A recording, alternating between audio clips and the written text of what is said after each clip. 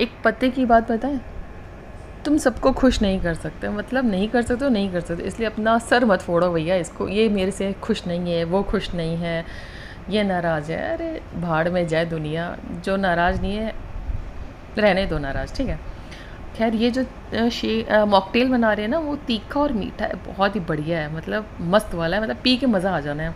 अभी तक मैंने मैंगो लिया है और इसमें बर्फ़ डाली है और उसका प्यूरी बना ली। अब आ रहा है ट्विस्ट पुदीना, कच्ची कैरी और हरी मिर्ची। मतलब ये चटपटा बनने वाला है बॉस अब इसमें ऐड करेंगे थोड़ा सा पिसी हुई चीनी और और मज़ेदार बनाने के लिए चाट मसाला। बस इसको बर्फ़ डाल के चला दो और अच्छा सा ग्लास ले लो, उसमें डाल दो बर्फ़ और ये डाल दो हमारा बढ़िया सा चटपटा मीठा वाला मॉकटेल रेडी हो गया, मस्त है ना, जिसको पिलाओगे वाकई तारीफ़ करेगा। थोड़ा सा जाने के लिए मैंने मैंगो और वाटरमेलन ये सब लगा दिया। आजकल तीन हम ज़रूरी